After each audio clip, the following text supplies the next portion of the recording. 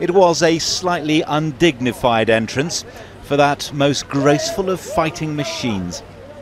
But this lovingly assembled replica Spitfire, a long way from home, is a belated thank you present to the people of a tiny African nation who came to Britain's aid when Britain needed it most. This was Britain's darkest hour, and the people of this fantastic country, five and a half thousand miles away, gave us enough money to build 24 of these fantastic fighting machines. What more can say?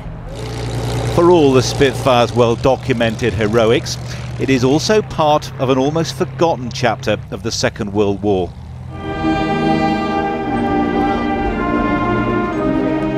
This Armistice Day in Lesotho, they remembered not just the money they gave, but the men they sent to a distant conflict.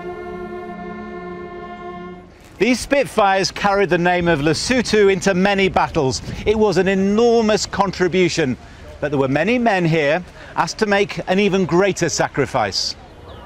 There are more than a thousand names on Lesotho's war memorial. Friends of Kalia Molabatsi, some given little choice but to serve the empire. In those times we were all under British rule, so we had to fight, he told me. But I was a young man and I was happy to go. In all, 20,000 answered the call to arms and campaigned through the Middle East, North Africa and Italy. Tuzo Holomese's photographs are fading, but the memory of the horrors of the battle for Malta are sharp. Now they could see the town then start bombing it. The following day, buildings were down.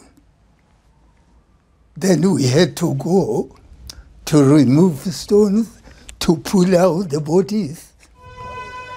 The Spitfire will stand as a lasting monument to all those who suffered, a symbol of survival against the odds, and a reminder that Britain never stood entirely alone.